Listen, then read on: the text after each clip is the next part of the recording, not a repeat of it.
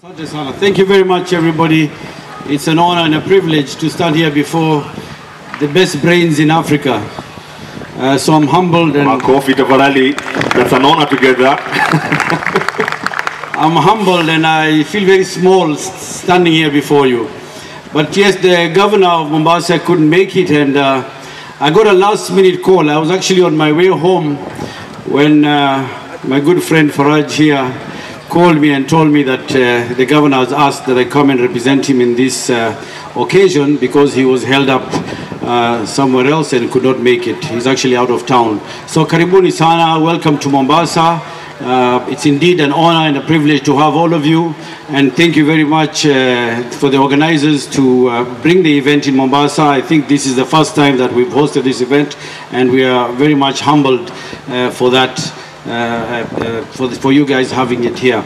Um, I know that uh, probably uh, I was introduced as the CEC in charge of transport infrastructure and public works, but uh, I have another portfolio that has been added to me.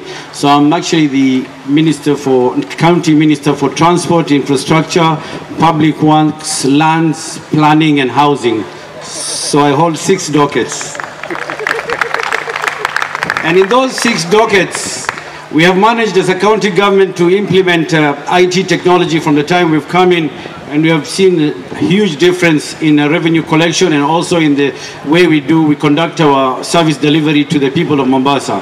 For example, on the transport side, we have uh, introduced something called the happy hour, whereby I'm sure some of you have tasted it, whereby during the traffic, uh, the, the, uh, during the uh, peak hours, we close the bridge on one side and allow cars to travel in all, all of them in one direction.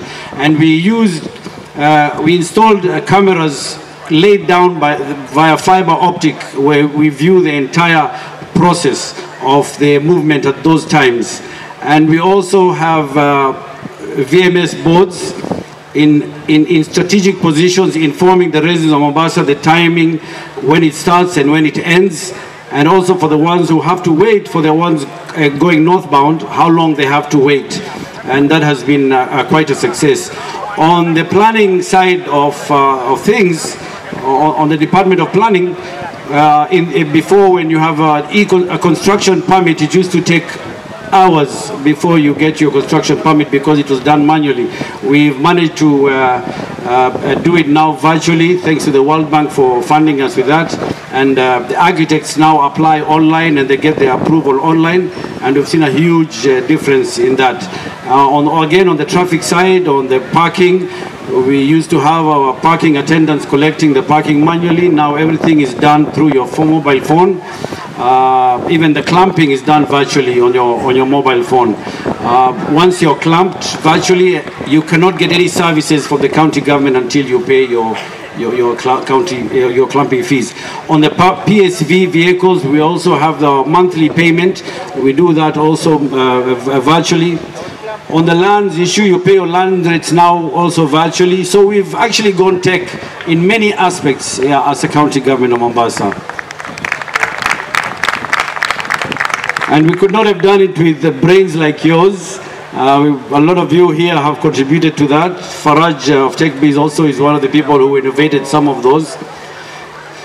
But I there's one with all the with all the accolades that we've managed to achieve in uh, the IT. First of all, my hats off to Safaricom of being the number one company in Africa to come up with the M-Pesa. So that proves that uh, in Africa we can also be a first in everything. But there's one thing that I really wa- always had in my heart, and I always wanted to have a forum to bring it out. So I think this is the best forum where I can bring this up.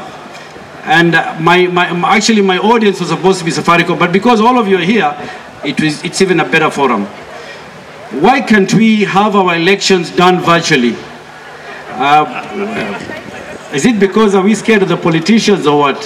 Why I'm saying this is that can you imagine we are so confident of having money on our phone through M-Pesa, then why shouldn't we have confidence of having our vote on our phone?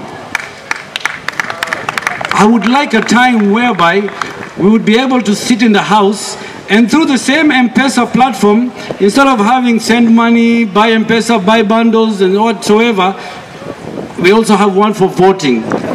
And then you vote for the candidate that you want from your president uh, down to the MCA in your home, in your living room. That will eliminate all the vote buying that happens during election time and all the canvassing. Number two, I know some people have asked me when I told them this idea, they said not everybody has a phone. Because of the 20 million people who vote, not everyone has a phone. But remember, Safaricom has 160,000 M-Pesa agents. So the M-Pesa agents can, be, can, can, actually be the polling stations. Currently, we've got 40,000 polling stations, and I read that the IBC require 40 billion shillings to conduct the election. Can you imagine if we just had it through a platform, a phone platform, would probably spend something less than 100 million just for that. And they save the, the, the country a lot of money, we'd save rigging. And also, remember as we vote, we will also be tallying automatically and instantaneously. So all this thing of sitting down and waiting for two, three days for tallying to be done in some tallying center somewhere and raises the emotions of the, of, of the people and the politicians, we can do it instantaneously like this. By 7 o'clock when voting finishes, the results are out. So that's one thing that if we manage to achieve that, we'll be the first in Africa. That's just food for thought. Thank you very much and God bless you all.